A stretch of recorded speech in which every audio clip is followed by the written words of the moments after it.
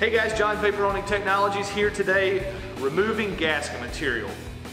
One of the biggest questions that we get with restorers or rebuilders in the world is, can vapor honing remove gasket material? The answer is no. I mean, we struggle to remove gasket material because obviously we are a less aggressive form of dry blasting. Um, especially these very hard antique gaskets that you see on a lot of vintage motorcycle engines, um, the paper gaskets. If you can scrape or remove over 50% of this gasket, we can probably take the rest of it off. But if it's a complete full gasket, you're never gonna touch it. And a good example is this full, complete gasket on the side here, uh, where I guess the cam holder would go on this head. We had to actually peel and cut away half of the gasket to be able to clean this area. And of course we cleaned it very well after we got the gasket off, but you can see some of the overspray doesn't even touch this material.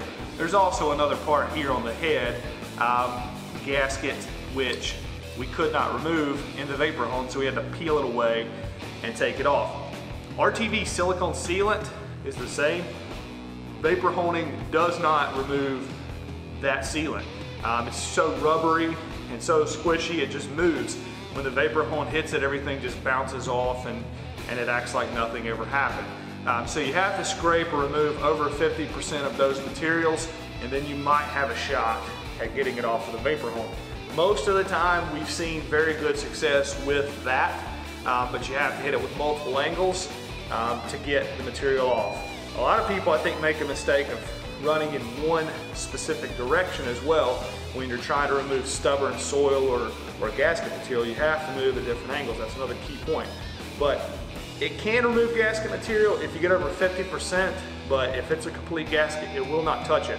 So hopefully you guys enjoyed that helpful tidbit today. If you have questions about your application, send them in, give the sales team a call or shoot them an email. They're always here and happy to help.